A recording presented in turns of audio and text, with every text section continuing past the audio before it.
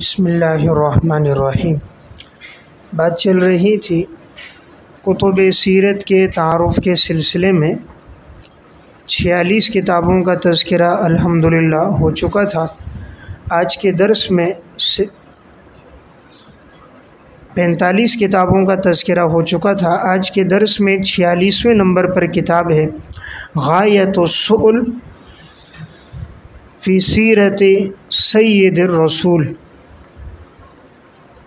गायतुल फ़ी सीरत सैद रसूल अल्लामा ज़ैनुद्दीन मलती रहमतुल्लाह अलैह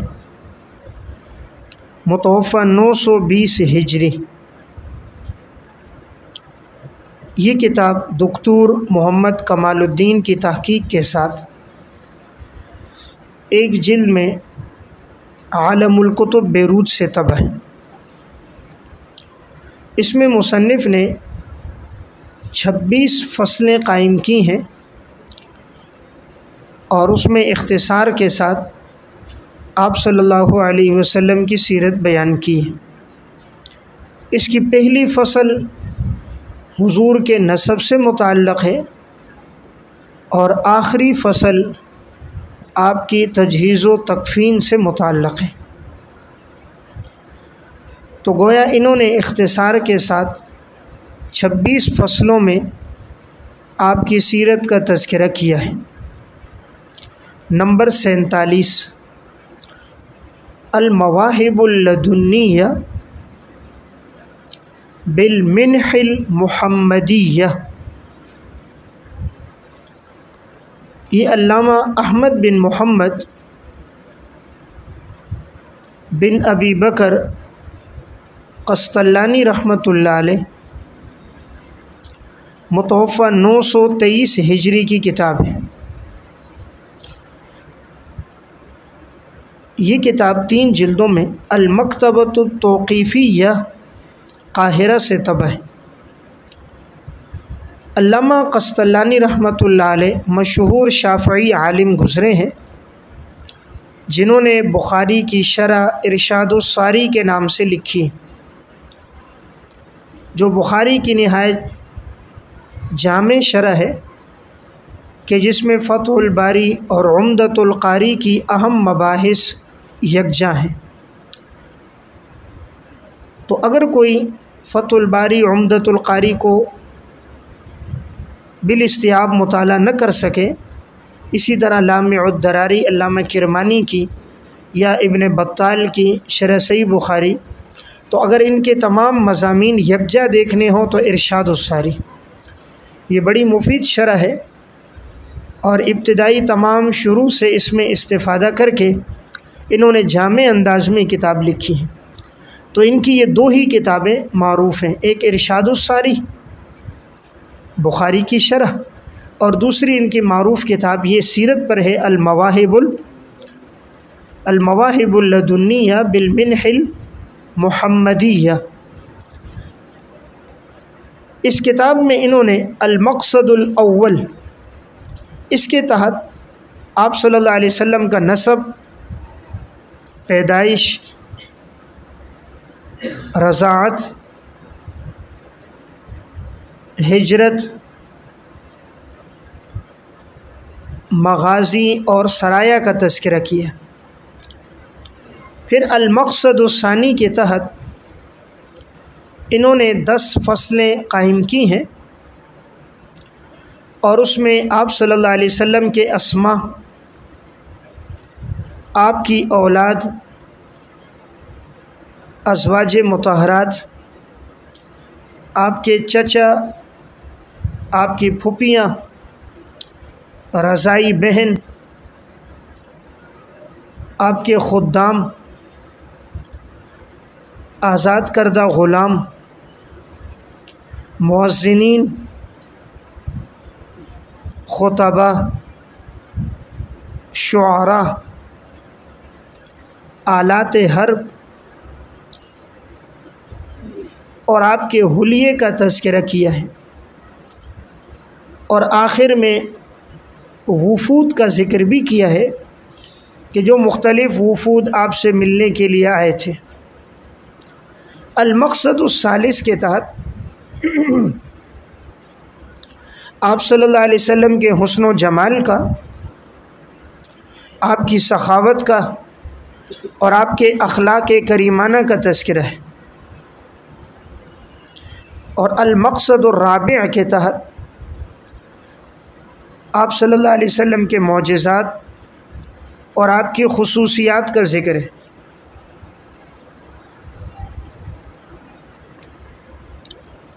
अलमकसदुल्ख़ामिस के तहत आपके वाक़ महराज का तफसीला तस्करा है।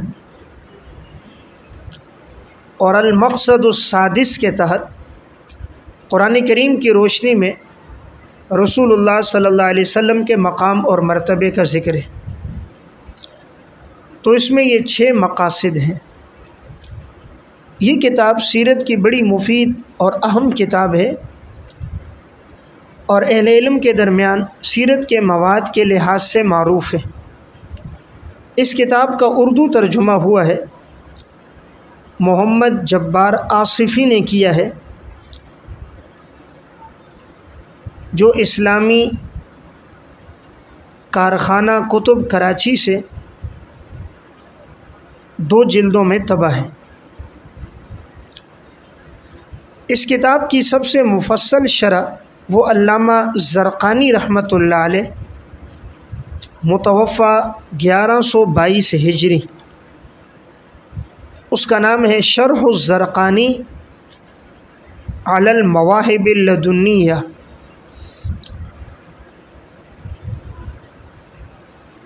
ये शरह बारह जिल्दों में दारुलकुतुबुल से तबाह उमूमन कुतुब सीरत में ये दो नाम आपके सामने आएँगे, एक अल्लामा कस्तलानी का और एक अल्लामा ज़रक़ानी का।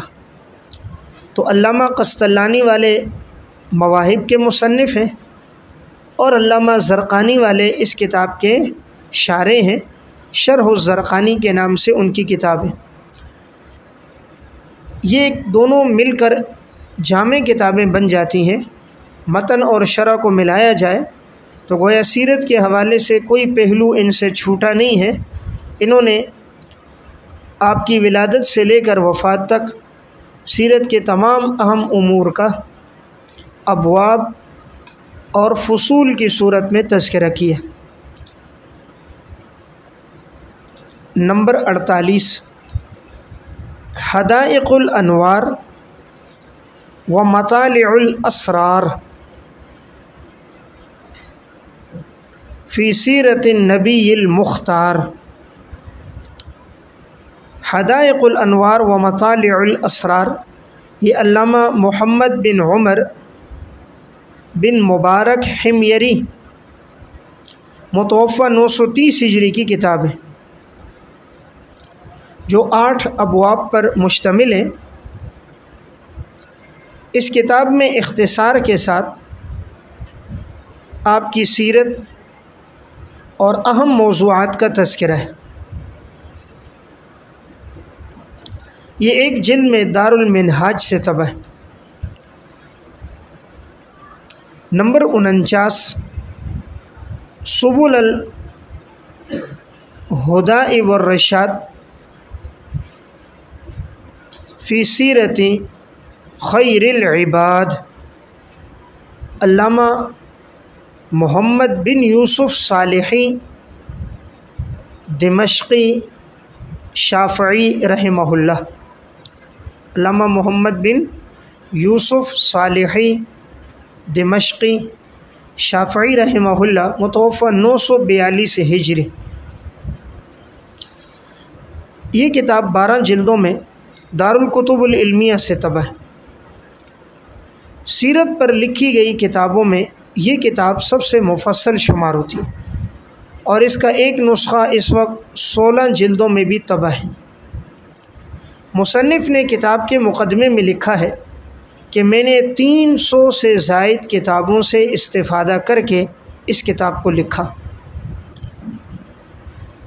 और इस किताब के लिखने की खातिर इन्होंने शादी भी नहीं की। कि कहीं ऐसा ना हो मैं उसमें पढ़कर सीरत के इस बड़े काम से निकल जाऊँ। तो अपनी ज़िंदगी जहद व तकवा में गुजारी और एक कमरे में अपने आप को पाबंद करके सीरत की तमाम किताबों से इस्तेफ़ादा करके एक जाम किताब मुरतब की। इसलिए अगर कोई ये कहे तो कोई मुबालगा नहीं है कि सीरत पर जामियत के अतबार से और अबवाब की तरतीब और मवाद के अतबार से इस किताब से मुफसल किताब कोई नहीं। और इसी को उर्दू में सीरत शामी भी कहते हैं। सीरत शामी जब आता है, वो इसी किताब का नाम होता है। इन्होंने इसमें अहादीस और रिवायात का बड़ा ज़ख़ीरा लिखा। जैसे मैं अर्ज़ कर रहा था, सिर्फ़ हुजूर के खसूसियात ही ली जाएँ तो तकरीबन ढाई सौ से जायद खसूसियात इसमें ज़िक्र है। आप सल्लल्लाहु अलैहि वसल्लम के तमाम मोज़ात को इन्होंने अलग अलग किया। पानी पे ज़ाहिर होने वाले, खाने पे ज़ाहिर होने वाले, जंगों के मौके पे ज़ाहिर होने वाले, हर मोज़ात को अलग अलग किया। और आपके नसब के मुतल मुकम्मल तहकीक, आपकी औलाद, आपकी अजवाज, उनकी औलाद आगे बित तफसील तस्करा है। हुजूर के चचा फूपियाँ आपके अजदाद ख़ुदाम मवाली, आज़ाद करदा ग़ुलाम शुरा सबका तफसीला ज़िक्र है। इस किताब का उर्दू ज़बान में भी तर्जुमा हो चुका है। तो अगर कोई उर्दू तर्जुमा पढ़ना चाहे तो हज़रत मौला उबैदुर्रहमान साहब मदजिल्लू ने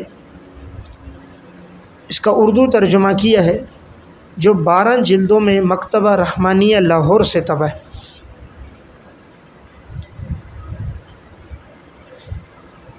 अगर इस किताब की तलख़ीस कर दी जाए और ज़रूरी मवाद ले लिए जाए तनकी और तहज़ीब के साथ तो एक अच्छा ख़ुलासा सामने आएगा।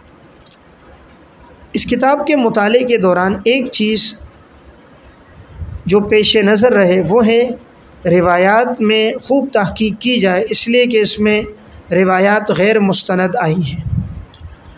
बाज़ जगह मुनक़ मुआज़ल मतरूक, मौजू रिवायात भी इसमें जा बजा आई हैं। तो उन्होंने तो अपने से पहले मुहदसिन पर अतमाद करके लिखा है। तो मवाद तो बहुत बड़ा जमा कर दिया और लेकिन तनकी इसकी ज़रूरी है। तो इसका कोई महक्क नुस्खा ऐसा अभी तक नहीं देखा कि जिसमें इसकी हर रिवायत पर कलाम किया गया और रिवायत का हुक्म बयान किया गया। तो अगर कोई अहल इल्म की कोई जमात इस किताब पर काम करें और रिवायात का हुक्म बयान कर दे हाशिए में और असल अल्फाज बयान करे, इसमें अक्सर रिवायत बिल माना है। अगर असल किताबों से उसके अक्सर जो अल्फाज हैं, जैसे आज सहा मौजूद हैं, इमाम तबरानी की तीनों महाजिम मौजूद हैं मुस्ंद अबू याला है मुस्ंद अहमद है, और इसी तरह मजमा ज़वाद है, अबू नईम की दलाइल है, बेहकी की दलाइल सब इस वक्त तबाह हो चुकी तो अगर असल किताबों से इसमें अल्फाज लिखे जाएँ नंबर दो, हुक्म बयान कर दिया जाए। मुकर्रात को हज़फ कर दिया जाए। इन्होंने एक एक मजमून के बारे में अगर वो मुतद सनदों से रिवायतें आई हैं, सबको लिया। जितने तुरुक आए सबको बयान कर दिए। मुख्तलिफ़ अल्फाज को भी लिया। तो अगर इसमें यह तनकी और तहज़ीब भी हो जाए तो इन एक बड़ा मुफीद काम होगा। मैंने एक बात पहले अर्ज़ की थी, अगर आपको याद हो। मैंने कहा था, कुरान करीम की तफसीर अदुर्रमंसूर जो सबसे जामे है और हदीस पर कंजुल जो अल्लामा अली मुत्तकी हिंदी की तकरीबन बावन हज़ार उसमें रिवायात हैं। और सीरत पर यसुबुलहुदा और फ़िका में अलफतावा हिंदिया, ये कुल हो गई चार। इन चार किताबों पर अब तक कोई इल्मी काम नहीं हुआ। अगर हो जाए तो ये चारों किताबें गोया एक इंसाइक्लोपीडिया हैं। और मालूम के अतबार से, मवाद के अतबार से अपने मौजू पर जाम किताबें। तफसीर में अदुर्रमंसूर हदीस में कंजुलमल और फ़िका में अलफतावल, हिंदिया और सीरत में सबुलहुदा तो इन चारों किताबें अपने मौजू पर जामे हैं। लेकिन अब तक कोई ऐसा इल्मी काम इन पर नहीं हुआ। अगर इनकी रिवायात की तहकीक कर दी जाए तो इन इसका फ़ायदा बहुत होगा। लेकिन एक दो आदमियों के लिए काम मुश्किल है, अगर ये कमेटी हो, चंद अफराद इस पर तकसीम हो और इस काम को आगाज़ करें तो इन उम्मीद है बाद वालों के लिए फ़ायदा होगा और उम्मत मौजूद से, गैर मुस्ंद रिवायात से बच जाएगी। नंबर पचास एलामसाइलिन अन कुतुब सैदमरसलिन एलामसाइलिन आन कुतुब सैदमरसलिन अल्लामा शमसुद्दीन मोहम्मद बिन अली अलमारूफ़ इबन तूलून रहमतुल्लाह अलैह नौ सौ तिरपन हिजरी ये किताब एक जिल में मुअससतुर्रिसाला से तबाह अल्लामा इबन तूलून रहमहुल्ला बड़े मशहूर आलिम गुज़रे हैं इन्होंने अपनी इस किताब में आप सल्लल्लाहु अलैहि वसल्लम के 26 खतूत का ज़िक्र किया। जैसे कि नाम से ना एलामसाइलिन अन कुतुब सैदमरसलिन कि मैंने अपनी इस किताब में आप सल्लल्लाहु अलैहि वसल्लम के खतूत का तस्करा किया। तो इसमें आपके दौर नबूत के छब्बीस खतूत हैं, जो आपने मुख्तलिफ़ बादशाहों की तरफ़, मुख्तलिफ़ कबाइल की तरफ़ और मुख्तलिफ़ हजरात की तरफ़ लिखे, उनको मुकम्मल सनत के साथ लाया। ये भी एक इनका कमाल है कि सिर्फ़ मुल्लक़न या मुनक़ तौर पे नहीं लाया, बल्कि पूरी सनत के साथ उसे ज़िक्र किया है और उनके अल्फाज भी नकल किए हैं। मैंने बात पहले भी अर्ज़ की थी कि अगर आप सल्लल्लाहु अलैहि वसल्लम के इन खतूत को खलफ़ा राशिदीन के खतूत को अगर यकजा करके अलग से शाये किया जाए और अगर उर्दू में इनका तर्जुमा हो तहकीक के साथ तो ये भी एक मुफीद काम है कि मालूम होगा कि आप सल्लल्लाहु अलैहि वसल्लम ने खतूत में क्या मजामी लिखे और इसी तरह खलफ़ा राशिदीन के खतूत किस तरह होते थे, बड़े मुख्तसर और जामे। तो उनमें जहाँ रूहानियत होती हैं, वहाँ उलूम की भी नई राहें खुलती हैं। नंबर इक्यावन तारीख़ुलखमीस फ़ी अहवाल अनफुस नफीस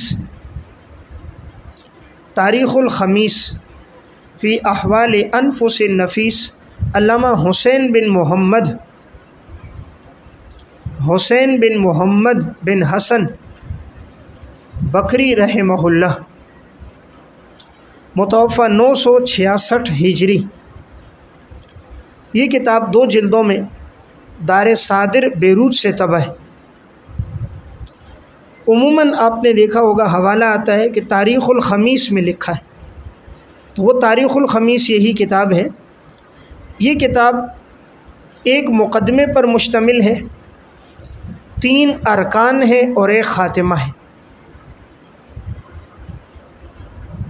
इसमें इन्होंने इख्तिसार के साथ आप सल्लल्लाहु अलैहि वसल्लम की सीरत के तमाम अहम अहवाल ज़िक्र किए। और इसमें खुलफ़ा राशिदीन बनु उमैया, बनु अब्बास और खुलफ़ा फ़ातमीन का तस्करा भी है। तो गोया ये सिर्फ़ सीरत ही की किताब नहीं है, बल्कि सीरत के साथ खुलफ़ा राशिदीन, बनु अब्बास, बनु उमैया और खुलफ़ा फ़ातमीन की सवाने और उन दौर के खुलफ़ा के हालात भी इस किताब में यकजा हैं। नंबर बावन। जमवसाइल फ़ी शरह शमाइल। जमवसाइल फ़ी शरह शमाइल, मुल्ला कारी रहमहुल्ला, मुतवफ़ा एक हज़ार चौदह हिजरी। ये किताब दो जिल्दों में मुस्तफ़ा अलबाबी हलबी से तबाह मुल्ला अली कारी मशहूर हनफी आलिम गुज़रे हैं, जिन्हें ग्यारहवीं सदी का मुजद भी कहा जाता है। इनकी सबसे मरूफ किताब मरक़ातुलमफ़ाती है, जो मिशकात की शरह है। और उसूल हदीस पर इनकी शरह शरा लनखबतफ़िक्र है। इसी तरह मुस्ंद इमाम आज़म की शरह मुस्ंद अबी हनीफ़ा। इनकी ये जो किताब है जमुलवसाइल फ़ी शरह शमाइल ये इमाम तिरमिज़ी रहमत मुतवफ़ा दो सौ उनासी हिजरी की अशमाइलनबविया की शरह। इमाम तिरमिज़ी की जो अशमाइल है, ये उसकी शरह है जमुल वसाइल फ़ी शरह शमाइल मुल्ला कारी रहमत की सीरत पर एक और किताब भी है जो इन्होंने काजी अयाज मालिकी मुतवफ़ पाँच सौ चवालीस हिजरी की किताब है अशफ़ा बेतारीफ़ हकूक़ उसकी शरह लिखी थी शरह शिफ़ा दो जिल्दों में दारकतुबलमिया से तब है इसका तारफ़ पहले हो चुका है। तो काजी अयाज की जो अशफ़ा है, मुल्ला कारी ने उसकी भी शरह लिखी। तो गोया इनकी सीरत पर ये दो किताबें हैं। शरह शिफ़ा और नंबर दो जमवसाइल फ़ी शरह शमाइल। नंबर तिरपन इंसानून फ़ी सीरतिन नबील अमीन ममून इंसानून फ़ी सीरतिन नबील अमीन ममून ये अली बिन इब्राहीम हलबी रहमहुल्ला मुतवफ़ा एक हज़ार चवालीस हिजरी। ये किताब तीन जिल्दों में दारुलकुतुबुलमिया से तबा है और ये किताब मरूफ़ है सीरत हलबिया के नाम से। उर्दू में भी इसका तर्जुमा हुआ हुआ है।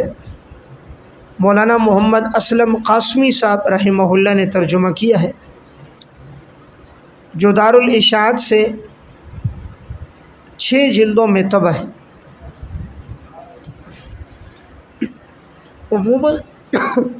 सीरत की किताबों में सीरत हलबिया के नाम से इसका तस्करा होता है या अहल इल्म की मजालिस में जब कभी आए सीरत हलबिया तो यही मुराद है। इस किताब का माखज़ दो किताबें नंबर एक, इन्होंने अल्लामा इबन सैदुलनास रहमत मुतवफ़ा सात सौ चौंतीस हिजरी की अयूनसर और अल्लामा मोहम्मद बिन यूसुफ सालही मुतवफ़ा नौ सौ बयालीस हिजरी की सुबुलहुदा वर्रशात इन दो किताबों से इन्होंने इसको माखूज करके लिखा है। तो चूँकि ये दोनों किताबें अपनी फ़न की जाम किताबें हैं असर और सुबुलहुदा इसीलिए उन दोनों के मजामी को इन्होंने अबवाब की तरतीब पर तनकी और तहज़ीब के साथ लिखा। मुकर्रात और इसनाद को हज़फ कर दिया। और उसको तारीख़ी और वाक़ाती अंदाज में लिखा। यानी तसलसल के साथ। पैदाइश से जैसे बात शुरू होती है, तसलसल से चलते चलते वफ़ात तक। तो जैसे किसी शख्सियत के हालात लिखे जाते हैं और उसमें तसलसल होता है, वही इस किताब में है। तो मवाद के लिहाज से मुतवसत किताबों में ये किताब मुफीद है। जाम किताबों में मैंने अर्ज़ किया तवालत के लिहाज से तो सुबुलहुदा और अगर कोई मुतवसत अंदाज में पढ़ना चाहे, ना बहुत इख्तसार, ना बहुत तफसील तो वो सीरत हलबिया। और अगर कोई इन दोनों का मताल करें तो बहुत फ़ायदा होगा सुबुलहुदा और सीरत हलबिया को अगर कोई जमा कर दे। मताले के दौरान तो गोया मजमाउल बहरैन है बैक वक्त उसको ज़्यादा फ़ायदा है। वरना यह है कि अगर असल किताब आदमी न पढ़ सके, तब भी इसका फ़ायदा ज़्यादा है। और इसका उर्दू तर्जुमा भी बहुत अच्छा बामुहावरा है। और ये जो अक्सर किताबें इस वक्त सीरत की उर्दू में छपी हैं, बहुत सी, जैसे एक किताब में उस दिन देख रहा था इसमाई मोहम्मद के बारे में, वो सारी सीरत हलबिया से अक्सर माखूज होती है। और भी उर्दू में जो आजकल लिख रहा होता है, वो तकरीबन मवाद इससे लेते हैं। तो मवाद इसी किताब से क्योंकि इस किताब का तर्जुमा अच्छा हुआ है और इस किताब में तसलसल ज़्यादा है। तो इसलिए बज़ाहिर लिखने, देखने वाला समझता है कि मुसनफ़ की मेहनत है, लेकिन बसा अवत उसकी अपनी ज़ाती मेहनत नहीं होती, वो सीरत हलबिया से माखूज होता है। तो कभी उसका हवाला दे दिया जाता है और कभी हवाला नहीं दिया जाता। तो अगर इस किताब को मुताले में रखेंगे इन फ़ायदा होगा। नंबर चौवन। मुख्तसर ज़ादिल माद अल्लामा मोहम्मद बिन अब्दुल वहाब नजदी, रहमतुल्लाह अलैह। मुतवफ़ा बारह सौ छः हिजरी। ये किताब एक जिल्द में वजारतशून इस्लामिया से तबाह। ये किताब इख्तसार है। अल्लामा इबन क़य्यम रहमतुल्लाह अलैह मुतवफ़ा सात सौ इक्यावन हिजरी की ज़ादुलमात का। अल्लामा इबन क़य्यम रहमहुल्लाह की ज़ादुलमात का इख्तसार है। तो नाम क्या रखा? मुख्तसर ज़ादिलमात इस किताब में आप सल्लल्लाहु अलैहि वसल्लम के उस हसना का तस्करा है। फिर सन बारह हिजरी से लेकर सन साठ हिजरी तक के मुख्तसर अहवाल भी हैं। गोया सीरत का तस्करा भी है और उसके साथ साथ सन बारह से सन साठ तक सीरत के हवाले से मुख्तसर उसका तस्करा भी है। तो बैक वक्त दोनों चीज़ें इसमें सामने आ जाती हैं। और इसका उर्दू तर्जुमा भी छपा हुआ है। उमूमन सऊदीया में इसका ये तर्जुमा मुफ़्त तकसीम किया जाता है। नंबर पचपन, नूरुल यकीन फ़ी सीरत सैदिलमरसलिन नूरुल यकीन फ़ी सीरत सैदिलमरसलिन अल्लामा शेख मोहम्मद खसरी रहमहुल्ला,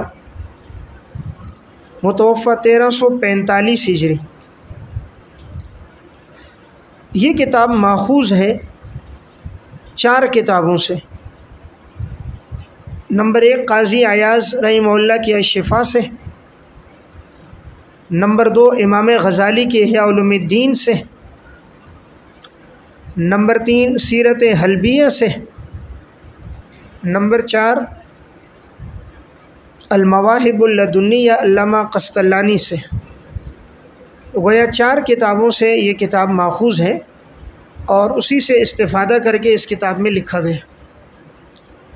मुसनफ़ ने यकम सन हिजरी से लेकर सन ग्यारह हिजरी तक के अहवाल इस किताब में ज़िक्र कर दिए। यकम से लेकर सन ग्यारह हिजरी तक के अहवाल इसमें आ गए और हर सन हिजरी में पेश आने वाले वाक़ात का भी इसमें तस्कर है। इसमें आप सल्लल्लाहु अलैहि वसल्लम के शमाइल और मोजात का भी ज़िक्र है। 280 सफ़ात पर यह किताब मुश्तमिल है, जो दारुल फ़यात दिमश से तबाह है।